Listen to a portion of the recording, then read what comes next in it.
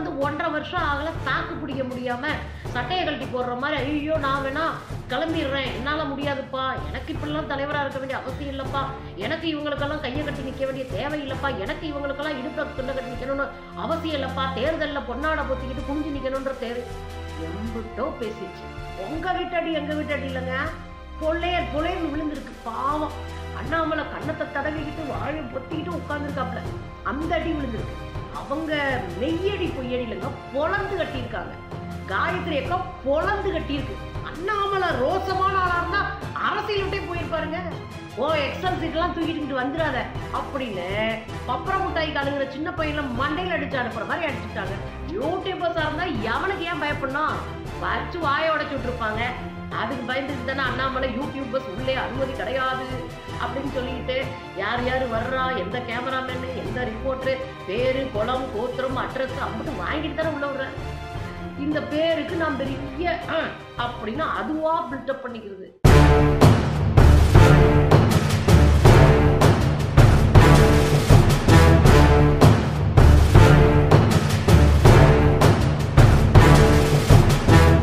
வணக்கம் தோழர்களே.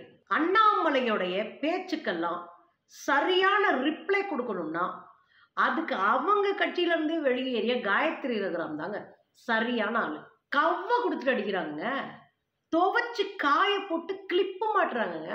ஒரு ஆளை எந்த அட்டி அடிச்சா போய் தெருவில் கிடப்பான்றது தெரிஞ்சிருக்குங்க அவங்களுக்கு. ஏன்னா அவ்வளோ அவமானப்பட்டாங்க அவங்க. ஒரு கட்சியில் எட்டு வருஷமாக இருக்கிறாங்க. தான் நடிப்பு வேலை எல்லாத்தையும் விட்டுட்டு பிஜேபின்னு அட்ரஸ் இல்லாத போது அந்த கட்சிக்குள்ளேருந்து தெரு தெருவா போய் தாமரை மலரும் தாமரை மலரும் சொல்லிட்டு இருந்தாங்க. அந்த கட்சிக்காக உண்மையாக உழைச்சாங்க. பெருசாக வந்து நான் அவங்கள பார்த்தது இல்லைங்க அந்த கட்சிக்கு நேர்மையாக இருந்தாங்க. அதை நம்ம பார்த்துருக்கோம். நம்ம கூட சண்டை போடுறது காரணம் கூட அந்த கொள்கை தானே. கட்சிக்கு நேர்மையாக இருந்தவங்க. அவங்களையும் இழிவுபடுத்தி தூக்கி எறிஞ்சிச்சு இந்த அண்ணாமலைன்ற பீஸு உள்ளே வந்து ஒன்றரை வருஷம் ஆகல. தாக்கு பிடிக்க முடியாமல் சட்டையை கழட்டி போடுற மாதிரி ஐயோ நான் வேணா கிளம்பிடுறேன். என்னால் முடியாதுப்பா. எனக்கு இப்படிலாம் தலைவராக இருக்க வேண்டிய அவசியம் இல்லைப்பா. எனக்கு இவங்களுக்கெல்லாம் கையை கட்டி நிற்க வேண்டிய தேவை இல்லைப்பா. எனக்கு இவங்களுக்கெல்லாம் இடுப்பில் துண்டை கட்டி நிற்கணும்னு அவசியம் இல்லைப்பா. தேர்தலில் பொன்னாடை பொத்திக்கிட்டு குனிஞ்சு நிற்கணுன்ற தேவை. எம்பிட்டோ பேசிடுச்சு நான் என்ன சொல்கிறேன்னா ஒன்றரை வருஷம் ஒரு கட்சி தலைவராக தாக்கு பிடிக்க முடியலைன்னா அதுதான் தமிழ்நாடு அரசியல். அடிச்சு ஓட விடுற அரசியல். நம்ம தான் அடிச்சு ஓட விடுறோம்னு நினச்சிக்கிட்டு இருந்தா காயத்ரி அக்கா முடிச்சு விட்றாங்க. ஏற்கனவே அவங்கெல்லாம் அட்டிப்பட்ட புலிங்க அந்த கொடூர கோவத்தில் இருக்கிறாங்க. நீ அவமானப்படுத்தியிருக்க. சொந்த கட்சிக்காரங்கிட்ட ஒரு கட்சியினுடைய தலைவரை கேவலமாக பாலியலாக பேசியிருக்கிற கேவலமான ஜந்து இந்த அண்ணாமலை. யாராக இருந்தாலும் செருப்பை கட்டி அடிச்சிருப்பாங்க.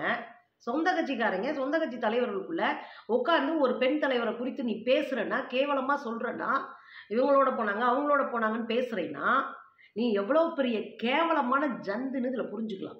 ம்? அது மட்டும் இல்லைங்க எனக்கு தெரிஞ்சே அவங்க பரப்பி விட்டது இந்த ஹோட்டலில் இவங்களோட அந்த ஹோட்டல் அவங்களோட அந்த ஹோட்டலில் இவங்களோட இந்த கேவலமாக இருக்குது தான் சொந்த கட்சி பெண்களை இவ்வளோ கேவலமாக புரணி பேசிக்கிட்டு உட்காந்துருக்கீங்கன்னா நீங்களாம் மனுஷங்களே கிடையாதுடா. அதனால தான் அந்த அவங்க திரும்ப கவ கொடுத்துக்கிட்டு மூஞ்சிலே அடிக்கிறாங்க வாய் தெறிக்க அடிக்கிறாங்க. அதுலயும் இப்போ அடிச்சிருக்காங்க பாருங்க. உங்க வீட்டடி எங்க வீட்டடி இல்லைங்க. பொள்ளையர் பொள்ளையர்னு விழுந்திருக்கு பாவம்.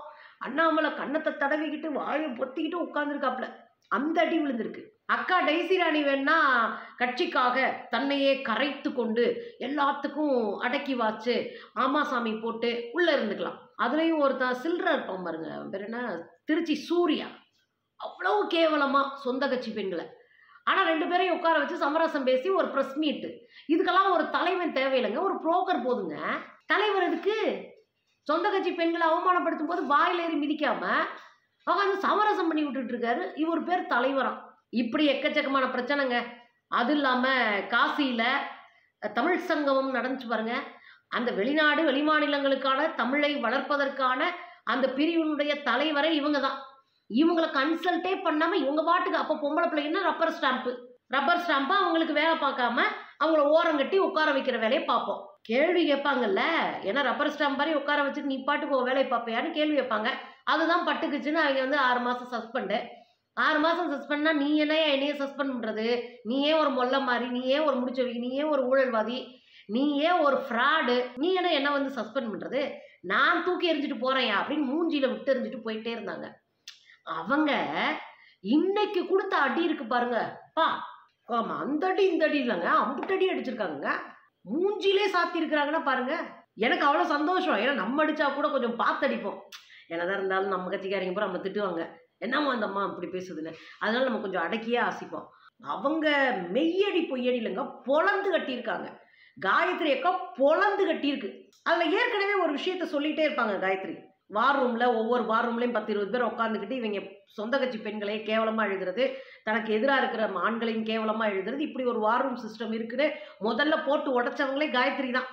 இன்னைக்கு வெளியே வந்தால் அத்தனை பேரும் அத்தான் சொல்கிறாங்க ஐடிவிங்க தலைவர் வெளியே வந்தார் பாருங்க அவர் கூட என்ன சொல்லிட்டு போனாரு? ஐயோ வார் ரூமை வச்சுக்கிட்டு எங்களை அசிங்கப்படுத்திட்டாங்க நாங்கள் வேலை பார்த்ததுல இவ்வளோ கேவலப்பட்டதே கிடையாது அப்படின்னு நேராக போய் அதிமுகவில் சேர்ந்துட்டாங்க. இல்லையா? அப்போ நம்ம என்ன பார்க்குறோம் அப்படின்னா இந்த வார் ரூம் என்பது உண்மை. அதை முத முதல்ல போட்டு உடைச்சவங்க காயத்ரி. இந்த வார் ரூமை வச்சுக்கிட்டு சொந்த கட்சி பெண்களையே தனக்கு பிடிக்கலன்னா கேவலமாக பேசுறது அவங்கள பற்றி அசிங்கமாக அவமானமாக பொதுவாக பொது கதை கட்டி விடுறது. இந்த கதை கட்டி விடுறது இவங்களுக்கு கரெக்டாக வரும். எங்கடா பொம்பளை நிற்கிறாளுங்கன்னு ஒரு கதையை கட்டி விடுவானுங்க. ஏன்னா இந்த கும்பலுக்கெல்லாம் அரசியல பெண்கள் வரக்கூடாது. பெண்கள் சோறாகணும் குழம்பு வைக்கணும் புள்ள பத்து போடணும் படுக்கணும். அப்படிதான் இதுகளுக்கெல்லாம். ஆனால் பெண்கள் அரசியலாக வந்து ஏறி ஆடுறாங்கன்னா இவனுங்களுக்கெல்லாம் அள்ளு விட்டுரும் பயம் வந்துடும் உடனே அந்த பெண்கள் குறித்து என்னென்ன கற்பனை கதை இருக்கோ அம்பிட்டும் கட்டுவானுங்க. அவனுங்களாம் சந்தோஷப்பட்டுக்குவான் சுய இன்பமாக சந்தோஷப்பட்டுக்குவான். அதுக்கு நம்ம என்ன பண்ண முடியும்? பாட்டுக்கடா அப்படின்ட்டு கடந்து போயிட்டே இருப்போம். ஓவர் ஆட்டினா செருப்பை அடிச்சுட்டும் போயிட்டே இருப்போம். அதைத்தான் இன்னைக்கு காயத்ரிக்கா செய்கிறாங்க அதுலயும் இன்னைக்கு அண்ணாமலை பேசுனதுக்கு சரியான பதிலடி கொடுத்துருக்காங்க. அண்ணாமலை என்ன சொல்றாரு? இருங்கடி அடுத்த மாதம் உங்கள் ஊழல் பட்டியலை வெளியிடுறேன். அக்கா சொல்கிறாங்க அதெல்லாம் வெளியிடுறதெல்லாம் அப்புறம் இருக்கட்டும். இன்கம் டேக்ஸ் டிபார்ட்மெண்ட் இருக்குது வருமான வரித்துறை அது இதுன்னு எல்லாமே இருக்குது அவங்க பூரா வந்து செக் செக்அப் பண்ணிக்கிடுவாங்க அவங்க பார்த்துக்குவாங்க அதுக்கெல்லாம் ஓ எக்ஸல் சீட்டை தூக்கிட்டு வந்து நிற்காத அண்ணாமலை கட்சி தலைவர் என்றும் பாராமல் அசிங்கப்படுத்திட்டாங்க. அண்ணாமலை ரோசமான ஆளாக இருந்தால் அரசியல் விட்டே போயிருப்பாருங்க.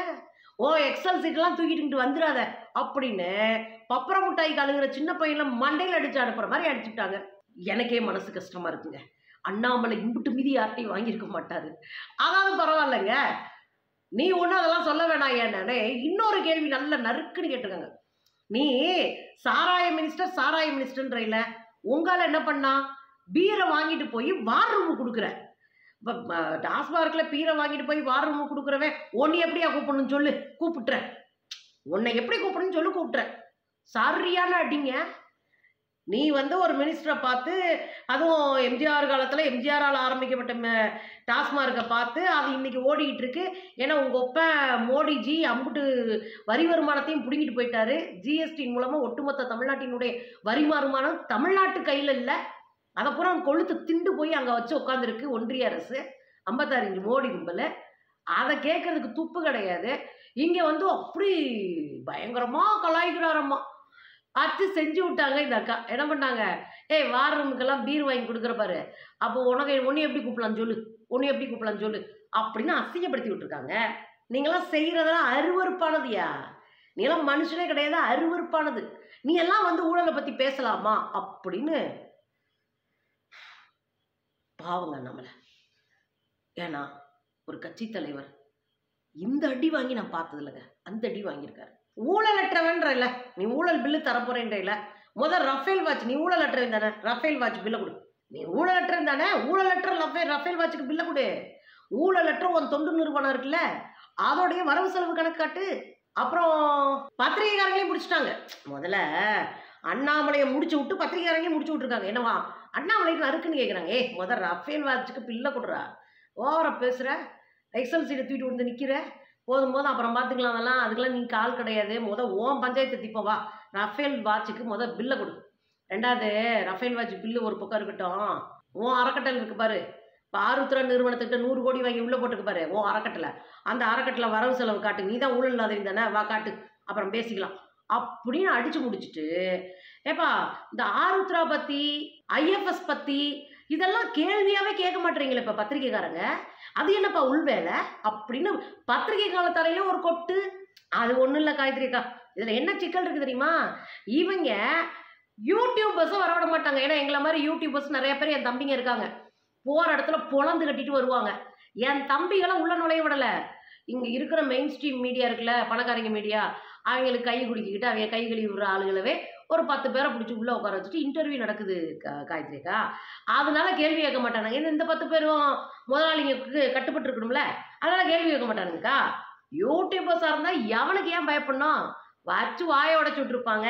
அதுக்கு பயந்துட்டு தானே அண்ணாமலை யூடியூபர்ஸ் உள்ளே அனுமதி கிடையாது அப்படின்னு சொல்லிக்கிட்டு யார் யார் வர்றா எந்த கேமராமேனு எந்த ரிப்போர்ட்ரு பேர் குளம் கோத்திரம் அட்ரஸ் அம்பிட்டு வாங்கிட்டு தானே உள்ளே விடுறாரு இந்த பேருக்கு நான் பெரிய அப்படின்னு அதுவா பில்டப் பண்ணிக்கிறது. ஆனா அண்ணாமலை நீ பில்லு கொடுப்பியோ என்னமோ தெரியாது. ஆருத்ரா நிறுவனத்தினுடைய ஹரிஸ் வாயை திறந்தா என் ரெண்டு தம்பிங்க உள்ள போவாங்க. ரெண்டு தம்பிங்க யாரா இருக்கும்? ஓ அந்த மலமாடு மக்களால் செல்லமாக அழைக்கப்படுகிற அமர் பிரதாஸ் ரொட்டி அமர் பிரசாத் ரொட்டி அப்புறம் அண்ணாமலை ரெண்டு தம்பிங்க. ஓ ரொம்ப சுவாரஸ்யமான தகவல்லாம் நான் தமிழ்நாட்டில் நடக்க போகுது. ஐ வெயிட்டிங் எனக்கு வெயிட்டிங்கா கட் பண்ணுறேன் நான் வெயிட்டிங்கில் இருக்கேங்க. கட்டாயம் எனக்கு அதை பார்க்கணும் போல ஆசையாக இருக்குங்க. அதல் அதோட போய அப்படின்லாம் நீலாம் வாரும் முட்டாளுங்க. அப்படிலாம் நொட்டாங்கையில் விடல. ஒரு லிஸ்ட்டு போட்டிருக்காங்க. அண்ணாமலையுடைய ஜேர்னியை பற்றி ஒரு லிஸ்ட்டு அதில் உங்களுக்கு தெரியும் ஐபிஎஸ் ஈபிஎஸ் அங்கே உட்காந்து ஆடினது வச்சது அதெல்லாம் நான் போகல நம்ம ஊர்லேருந்து நான் எடுத்து சொல்கிறேனே அக்கா போட்டிருக்கிற என்ன விஷயம் என்ன தெரியுங்களா? அரவக்குறிச்சி தோல்வி ரஃபேலு வாட்சு ஹனி ட்ராப் பண்ணி எல்லாத்தையும் பிடிச்சி பெரிய பெரிய தலைவர்களை எல்லாம் பாலியலாக படம் பிடிச்சி வச்சுக்கிட்டு மிரட்டினாப்புல இல்லையா? அதை எழுதியிருக்கிறாங்க. ஆருத்ரா நிதி நிறுவனம் ரெண்டாயிரத்தி ஐநூறு கோடி ரூபாய்க்கு மேலே ஊழல் பண்ணியிருக்குன்னு தெரிஞ்ச பிறகும் ஊழல் குற்றச்சாட்டு அவங்க மேலே சாற்றப்பட்ட பிறகும் அந்த ஹரிசை கூப்பிட்டு வந்து பதவி கொடுத்தவர். அதையும் மென்ஷன் பண்ணியிருக்கிறாங்க. கபடி லீக்கு கபடி போட்டி வச்சாங்கல்ல மோடி கபடி. அந்த கபடி லீக்ல பல கோடி ரூபாய் வசூல் பண்ணியிருக்காங்க. முப்பத்தி ஏழு ஏழு கோடி ரூபாய் வசூல் பண்ணிட்டு நாலு கோடி ரூபாய் செலவழிச்சிட்டு மிச்ச பணத்தெல்லாம் முங்க போட்டாங்க. அதையும் சொல்றாங்க. கபடி லீக் வசூல் சூரனா ராகுல் வசூலு வார் ரூம் வசூலு வார் ரூம்ல மிரட்டி கிரட்டி வசூல போடுறாங்கல்ல அந்த வசூலு தொண்டர்களை எல்லாம் அடிச்சு பிடிச்சி வெளியேற்றி விடுறது அப்புறம் அவசரமா விமான கதவை திறந்து விட்டு அசிங்கப்பட்டது ஈரோட்டில் இடைத்தேர்தலில் ஒரு பூத்தாள் கூட போட முடியாமல் தெருவில் நின்னது அதுக்கப்புறம் ஸ்டிங் ஆப்ரேஷனில் ஒரு கிராம் தங்கம் அப்புறம் காசு பீரு அது இதுன்னு உள்ள விட்டு எக்கச்சக்கமாக புழங்கி விட்டது.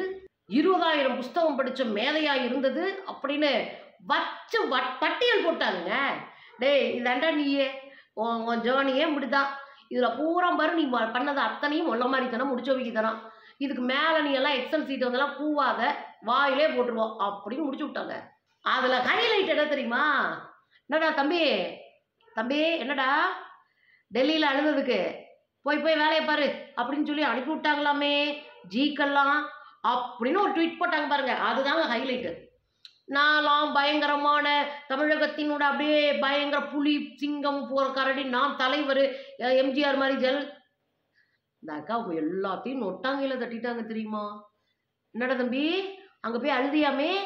அங்கே அழுகாத கிளம்பு கிளம்பு போய் பாரு வேலையை பாருன்னு சொல்லி அனுப்புனாங்களாமே ஜீக்கெல்லாம் அப்படின்னு போட்டு கும்பிட்டு கெத்து காட்டி நம்ம அண்ணே வடிவேலு கைப்புள்ளையா வருவாரு பாருங்க. ஏண்டா அடிச்ச கைப்பிள்ளைக்கே சட்டை கிழிஞ்சிருந்துன்னா அடி வாங்கினவனுக்கு எம்புட்ரா கிழிஞ்சிருக்குன்னு சொல்லுவாங்க பாரு. அது மாதிரி நார் நார் நாரா கிழி கிழின்னு கிழிச்சு மொத்தமாக தொங்க போட்டாங்க காயத்ரி அக்கா. காயத்ரி அக்கா வாழ்நாளில் பேசுனது இன்னைக்கு பேசுனதா நம்ம மனசுக்கு நெருக்கமாக இருக்கு. அக்கா விட்டுறாதீங்க தொடர்ந்து அடிங்க நாங்களாம் கூட நிற்போம் அடிச்சு ஆடுங்க. அப்பதான் இவனுங்களுக்கு உண்மையா வழி என்னன்னு தெரியும் அரசியல் என்னன்னு தெரியும். பெண்கள்னா பலம் என்னன்னு தெரியும். அடிச்சு ஆடுங்க கூட நிற்கிறோம்